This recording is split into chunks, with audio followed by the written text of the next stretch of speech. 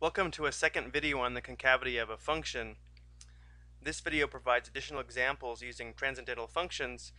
You may want to watch the previous video first because it does explain the concept of concavity in a little more detail. Let's go ahead and do a quick review. A test for concavity deals with the second derivative. If the second derivative of the function is positive or greater than zero for all x in an interval, then the graph is concave upward in the interval. So if the second derivative is positive, the function is concave up. If the second derivative is less than 0 or negative for all x in an interval i, then the graph of the function is concave downward in the interval. So if the second derivative is negative, the function is concave down. So here's how we're going to determine concavity. We'll determine the values for which the second derivative is equal to 0 or undefined. These will also be our possible points of inflection. Next, we'll use the values to determine test intervals based upon the domain or the given interval. Then we'll determine the sign of the second derivative in each interval. Again, if the second derivative is positive, it's concave up. If the second derivative is negative, it's concave down. And if the intervals change sign, there is a point of inflection. Let's go ahead and do some examples. So the first thing we need to do is find the second derivative and determine where it's equal to 0 or undefined. So we'll start by finding the first derivative. Derivative of sine x would be cosine x. Derivative of cosine x would be negative sine x. That's our first derivative. Now we can find the second derivative. Derivative of cosine x would be negative sine x minus derivative of sine x, which is cosine x. Again, we want to know when this is equal to 0 or undefined. It's never undefined. So now we need to solve this equation we have two different trig functions here, so what we can do is add sine x to both sides. Now let's go ahead and divide by cosine x on both sides. What we're left with is negative 1 on the left equals, remember sine x divided by cosine x is tangent x. So we want to know when tangent x is equal to negative 1 on the open interval from 0 to 2 pi. Well, having a tangent function value of negative 1 should remind you of having a 45 degree reference angle. And since the tangent function value is negative, we'll sketch a 45 degree reference angle in the second and the fourth quadrant. Therefore, so the second derivative would be 0 when x is equal to 3 pi over 4 radians, and also when x is equal to 7 pi over 4 radians. So now what we'll do is take the interval from 0 to 2 pi and break it up into three intervals using these two x values. So it would look something like this. Our first interval would be from 0 to 3 pi over 4. The second interval would be from 3 pi over 4 to 7 pi over 4. And the third interval would be from 7 pi over 4 to 2 pi. Remember, the second derivative was equal to 0 when x was equal to 3 pi over 4, right here, and also when x was equal to 7 pi over 4. Okay, now we need to determine the sign of the second derivative in each of these intervals. Let's go ahead and do that on the graphing calculator. Okay, so we'll type the second derivative into y1. And now we'll use the table feature to determine whether this would be positive or negative in each of these intervals. So we'll press second graph, and now we'll type in our test values. We need a value between 0 and 3 pi over 4. How about pi over 2? Notice it's negative. Now we need a value between 3 pi over 4 and 7 pi over 4. How about pi? Notice it's positive. And the last interval was from 7 pi over 4 to 2 pi. I know 2 pi is approximately 6.28, so let's use a test value of 6. And you can see that it's negative. So we can see the intervals are negative, positive, and then negative. Let's go ahead and record that. So what that tells us is on this interval, since the second derivative is negative, the function is concave down.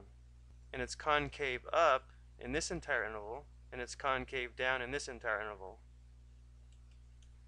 And the last thing we have to do is determine points of inflection. Remember, points of inflection occur where the function changes concavity. Notice it changes from concave down to concave up. Therefore, at x equals 3 pi over 4, we have a point of inflection. and also at 7 pi over 4. So these are points of inflection. Now we still have to go back and find the y-coordinates of these points of inflection.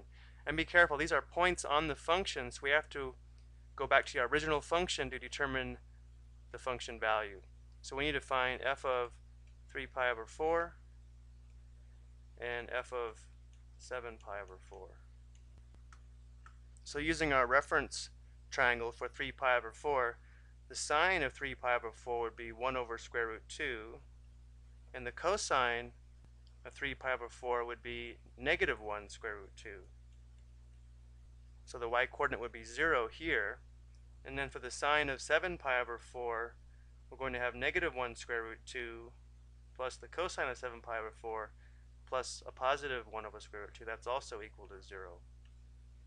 Let's go ahead and verify all this information with a graph. Here are our two points of inflection. We can see it changes concavity at these points and also that in this interval here it's concave down, here it's concave up, and then this little piece here is concave down. So all of our work looks good. Let's go ahead and try one more example. Same question, we want to determine where the function is concave up or down and also state points of inflection. So we'll start by finding the first derivative. This requires the product rule. We have the first times the derivative of the second, that'd be 1 over x, plus the second times the derivative of the first, that would be 2x. Okay, so this is equal to x plus 2x natural log x. Now let's go ahead and find the second derivative. So the derivative of x would be 1 plus, this will require the product rule, so we have 2x times derivative of natural log x, that's 1 over x, plus the second times derivative of 2x, which is 2. So this x simplifies with this x. So we'd have 1 plus 2, that's 3, plus this would be 2 natural log x. We want to know when this is equal to 0 or undefined. Well, the original function has a domain where x is greater than 0. So on the original domain, this will never be undefined. So to solve this for x, what we can do is subtract 3 on both sides and then divide by 2. That will give us natural log x equals negative 3 halves. Remember, natural log has base e. So if we rewrite this in exponential form, we would have e to the power of negative 3 halves must equal x. This is the only value in the original domain where the second derivative would equal 0. So the intervals we'll consider would be from 0 to e to the negative 3 halves power, and then from e to the negative 3 halves power to positive infinity. Let's get a decimal approximation for e to the negative 3 halves power. So that's approximately 0.223. Let's go ahead and write that down. That's helpful because we do have to pick a test value in each interval.